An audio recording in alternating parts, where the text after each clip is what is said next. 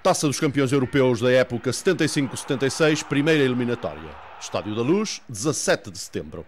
Os turcos estavam longe destas andanças e, deslumbrados com o ambiente lisboeta, não conseguiram parar a euforia goleadora do campeão português. O 7-0 do jogo da Luz deixou bem patentes as diferenças existentes entre um Benfica já sem Eusébio e a equipa do Fenerbahçe. A formação portuguesa de Bento, Eurico, Nené, Tony, Jordão e Shell reduziu à insignificância a formação de Istambul.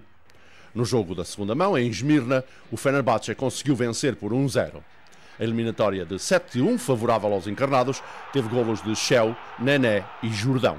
Nené e Jordão obtiveram três cada. Agora, as diferenças não são tão acentuadas. Muito por mérito dos turcos, que, à base da importação de jogadores e treinadores, têm conseguido melhorar o nível de futebol praticado.